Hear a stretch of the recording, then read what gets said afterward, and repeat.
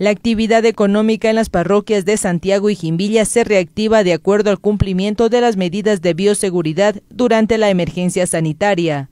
Autoridades locales verificaron las normas vigentes en compañía de la gobernadora de la provincia de Loja, Lorena Costa. Carmen Jarro, presidenta del Gobierno Autónomo Descentralizado Parroquial de Jimbilla, informó que fue la oportunidad para presentar requerimientos urgentes en beneficio de este sector. En la parroquia también hay lo que es el centro de salud también falta un poco de mejorar porque desde que es una casa de salud tiene que estar en prestar buenas eh, condiciones. Lorena Costa, representante del Ejecutivo en Loja, calificó como importante la visita a las dos parroquias. Se coordinó acciones con las autoridades locales para fortalecer la salud, seguridad, proyectos sociales, agrícolas y productivos haciendo un balance de todo lo que ha significado esta emergencia sanitaria y también, lógicamente, ya em, haciendo planificación para esta reactivación económica que tiene que irse dando y, y, tenemos que ir avanzando a poco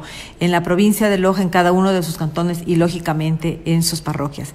Para Sur Noticias, Jenny Maya.